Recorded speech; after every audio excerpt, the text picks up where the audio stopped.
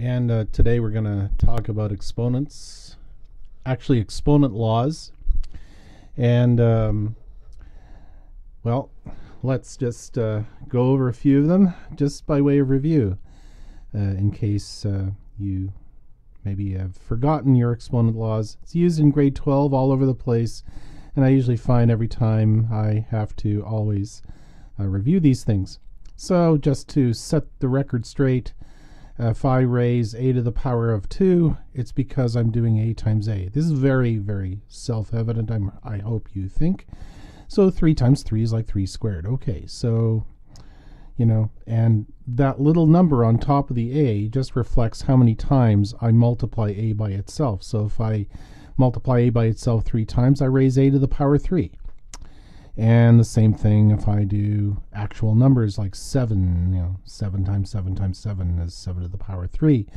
And by the way, I, I seem to be favoring negative, uh, sorry, positive numbers, but negative numbers work too, obviously. Um, exponents are also defined for fractions. So uh, a to the half is the square root of a. And um, you know, for example, uh, 4 to the half would be the square root of 4, which in turn is 2. And, uh, well, we can use any fraction. We don't have to use 1 half. We can say any fraction, like if we have b over c, so long as b and c are just whole numbers, um, then we are saying that this is equal to the cth root of a to the power b.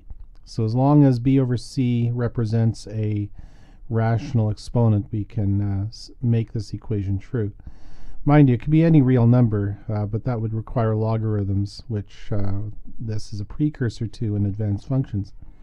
So 9 to the, say, 4 fifths, let's say, would equal the fifth root of 9 to the 4. So the 5, notice, goes in the third, and the 9 is, or sorry, the 4 is what you raise 9 to the power of uh, when you're using surds.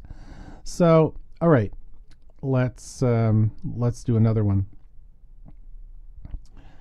So a to the b times a to the c, uh, you're multiplying two exponential expressions.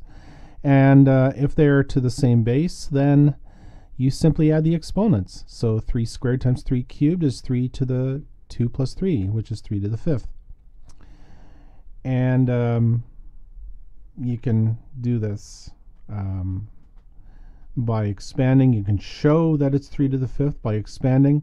So 3 times 3 is uh, 3 squared, 3 times 3 times 3. And you notice that this amounts to multiplying 3 by itself 5 times.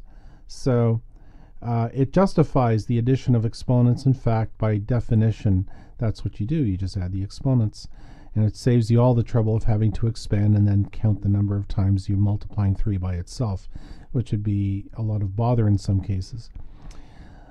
a to the b over a to the c is a to the b minus c, and uh, then, um, for example, 3 to the fourth divided by 3 squared is just 3 squared, because you're doing 4 minus 2 in the exponent.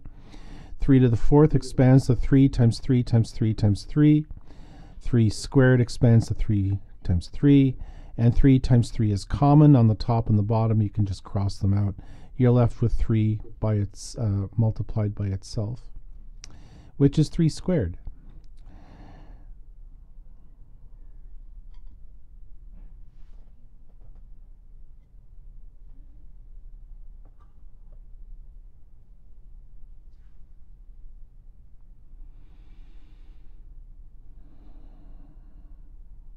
So um, uh, negative exponents are also defined. So if a is raised to a power of, say, minus 1, as long as a is not 0, um, this will work. So a to the minus 1 is just 1 over a. a to the minus b is 1 over a to the positive b. And uh, so we can maybe do some, just a couple of simple examples. So 1, 1 third would be 3 to the minus 1. And let's say, I don't know, for the second uh, illustration, 3 to the, I don't know, minus 3 is 1 over 3 cubed. And 3 cubed is 27, so that's just kind of like 1 over 27.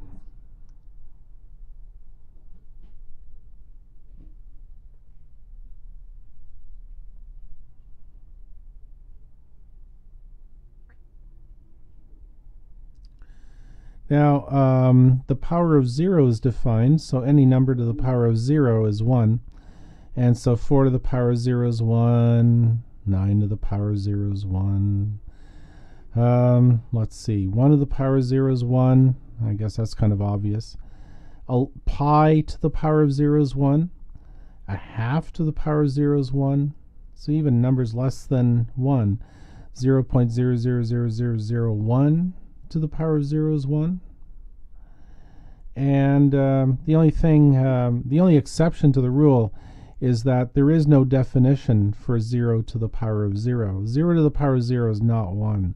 In fact, it's not really defined at all.